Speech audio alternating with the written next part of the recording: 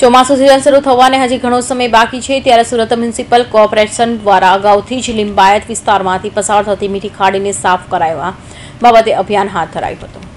ચોમાસાની ઋતુ દરમિયાન શહેરમાં ખાડીપુરની સમસ્યા સુરત મ્યુનિસિપલ કોર્પોરેશન માટે દર વર્ષનો માથાનો દુખાવો સાબિત થાય છે. શહેરના લિંબાયત, ગોધરા, ઉધના તેમજ ચોર્યાસી તાલુકાના કુંભાણિયા, સણિયા હેમાત જેવા વિસ્તારોમાં રીતસરની બેટમાં ફેરવાઈ જતા હોય છે, જેના કારણે શહેરમાં ગંદકી, રોગચાળો તેમજ પૂરની પરિસ્થિતિ દર વર્ષે ઉદ્ભવતી રહે છે.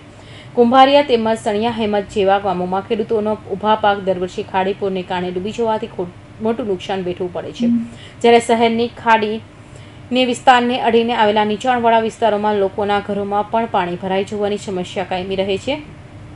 જેથી ઘર વખરીનો સામાન ડૂબી જવાથી સાથે ડિસ્ટાર્ટ મેનેજમેન્ટની લાશ્કરો દ્વારા તેમનું રેસ્ક્યુ કરી બહાર કાઢવાની નોબત દર વર્ષે સર્જાય છે, જેને લઈ સુરત મ્યુનિસિપલ કોર્પોરેશન દ્વારા ચોમાસું શરૂ થાય તે પહેલાં જ ખાડીપુર સમસ્યા નિવારણ માટે યુદ્ધના કારણે કામગીરી હાથ ધરાઈ છે. શહેરના લિંબાયત મીઠી ખાડીને હિટાચી મશીન દ્વારા સાફ કરવાની કામગીરી શરૂ કરી દેવાઈ છે. ખાડીમાં રહેલા કચરો તેમજ માટીના ઢગલાને બહાર એક તરફ કાઢવાની કામગીરી પૂરજોશમાં શરૂ કરાઈ છે. ત્યારે શહેરીજનોને ખાડીપુરમાંથી આ વર્ષે રાહત મળશે કે કેમ તે જોવાનું રહ્યું. Ketan Patel, Hind TV news Surat.